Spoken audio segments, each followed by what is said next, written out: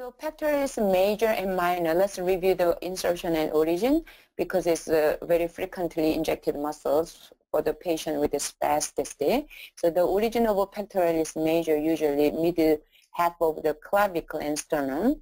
And also the insertion goes to the humerus where the bicipital groove is. And pectoralis minor, the origin usually from the ribs, so third to fifth ribs and the insertion is a coracoid process. Therefore, many patients who has spasticity, you can see their shoulder is protruding to the front.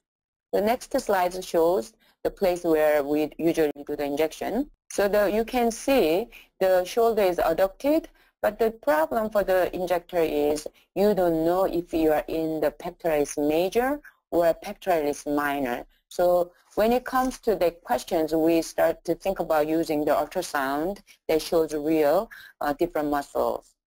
This slide shows where you can apply the probe and uh, put the needle to go to the right uh, muscles. Let's apply the probe about one to three finger breadths from the humeral head to see the muscles.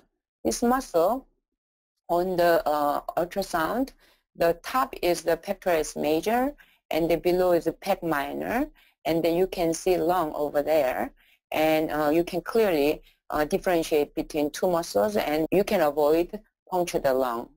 The next slide shows uh, that uh, when I put the needle, that you can see this needle, elongated needle. This needle is in placed in plane and you can see the muscles and then pectoralis major, pectoralis minor, and this is the rib